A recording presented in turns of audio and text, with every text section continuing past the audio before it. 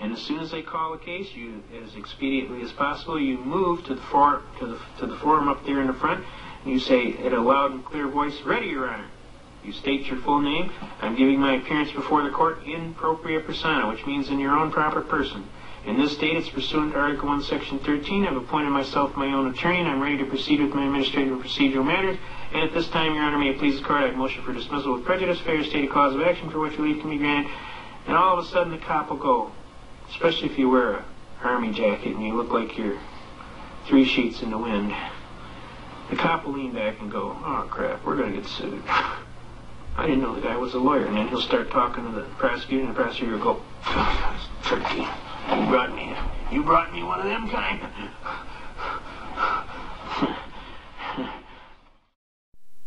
The right to travel is a popular common law doctrine which states that individuals have the right to travel, including by automobile, with which the state cannot limit or monetize through licensing or fines.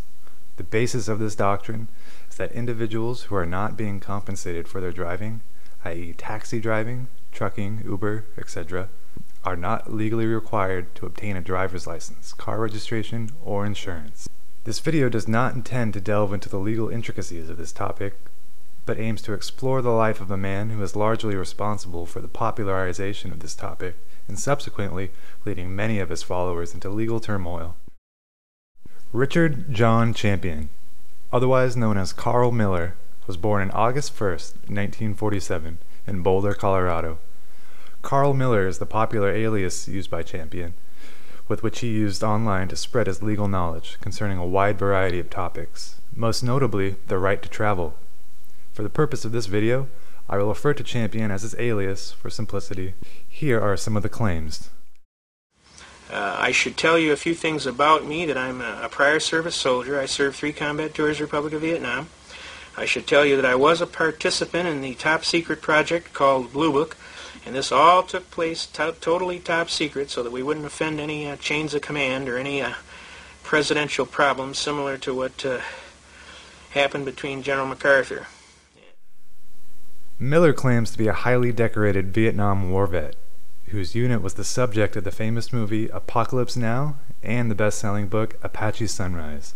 Miller claims to have been inducted into the top secret project Blue Book, and also claims to have served under the famous general in Operation Eagle Snatch. Miller also claims to have studied law for 25 years and describes himself to be a quote-unquote constitutional scholar who delights in quote, tying legal prosecutors in knots, often winning the praise and respect of judges. Miller says he has an over 90% success rate. After watching many of his online videos, I was intrigued by the man and I just had to know more. I delved into this topic, reading and watching anything I could find. Here's what I discovered. Miller is in fact a multi-convicted weapons-related felon with a long track record of legal troubles and no record of actually winning any court cases. Not only does Miller have a laundry list of weapons related offenses, he also has a verified history of severe mental illness. On November 19, 1980, Miller was arrested and charged with the felony of carrying a concealed weapon. Miller was found in possession of a handgun, knife, and karate sticks. Miller asked to represent himself in the trial. The judge had Miller undergo psychiatric evaluation, and it is unclear whether he passed or failed. Regardless, the court did appoint him an attorney, and Miller did win the case. Miller was unsatisfied with the results and actually appealed his own acquittal. It is unclear why Miller sought to overturn his acquittal, but it is widely speculated that Miller was unhappy with the results of the psychiatric evaluation, which resulted in him being found innocent with no intent to commit the crime. The appellate court dismissed his appeal and remanded the case back to trial court. No mention could be found concerning this appeal, and it was assumed the case was thrown out. The result? I guess you'd call that one a win. On September 15, 1994, Miller and his lawyers sued Burger King for a personal injury, citing a slip and fall and food poisoning. A federal judge later remanded the case back to state court. The case was not further litigated. The state court terminated the case on October 26, 1994. On December 8, 1994, Miller was charged with five counts of carrying a concealed weapon in his motor vehicle.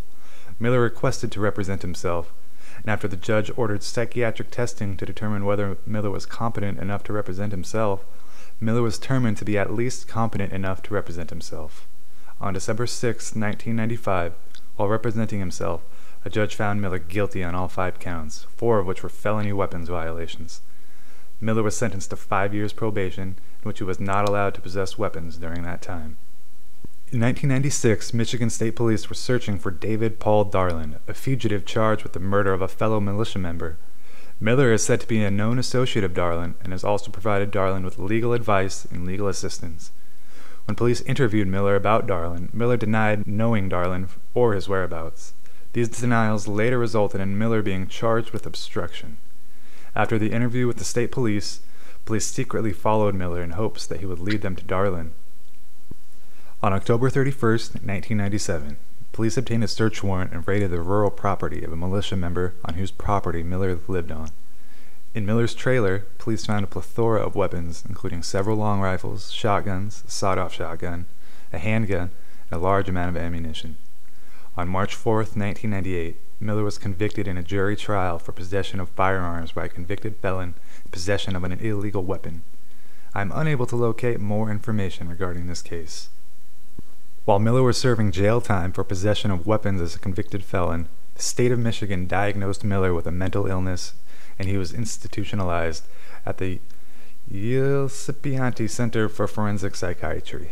While Miller was incarcerated in the psychiatric facility, he filed a handwritten lawsuit in federal court against the governor official, Myers, who he blamed for his conviction and for the violations of his rights.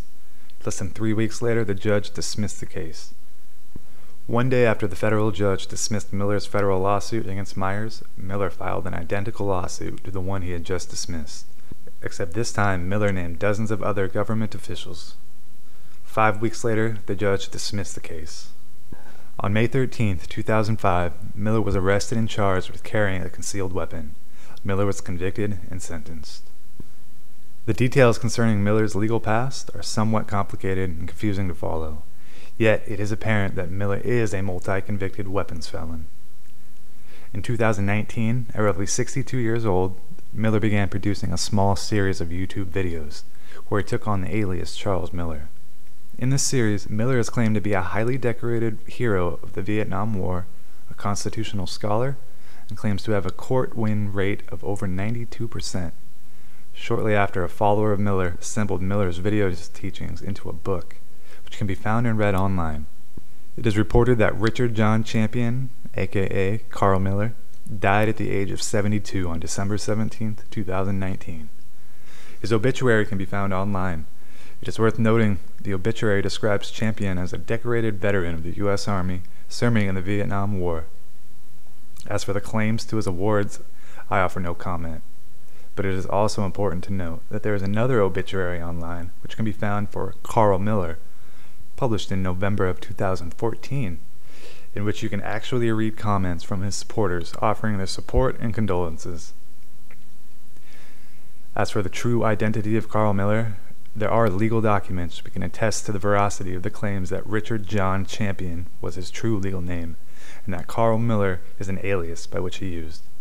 These documents also seem to indicate that Miller was homeless.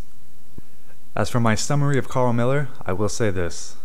Miller is a fast and smooth talking individual who holds an air of confidence. It would be easier to believe him at his word. He is seemingly kind, funny, and very likable. It was for these reasons I chose to look deeper into the man and I can say I was not altogether pleased with what I found. The argument can certainly be made that Miller is either a charlatan or mentally distressed. His long, drawn out videos seem to indicate that Miller holds quite a large amount of legal knowledge, and his claims do seem to attest to that fact. As likable as he seems, and as much as I wanted his claims to be true, I simply do not put any trust into the man personally. It is always good practice to research into any claims before you confirm them to be true or false in your own mind. My conclusion of the matter his reliability is not concrete and should not be taken as fact. I am not making any claims to the truth or fictitious nature of Miller's identity or the right to travel doctrine, but simply am shedding light into the true identity of the man in the video. If you plan to exercise any real or perceived rights concerning the teachings of this man and others, I highly suggest you use extreme caution and get your ducks in a row. More often than not, if you decide to go driving without a license or plates, you will be pulled over and fined. I've watched many videos online of people dealing with police in this matter, and many of them even get off with just a simple warning. Personally, I would attribute this to luck. It is highly dependent on the manner of which you present your argument and the discretion of the officer or judge that will dictate how your situation is resolved. Pushed me down in a mud puddle face first. Then he pulled me up.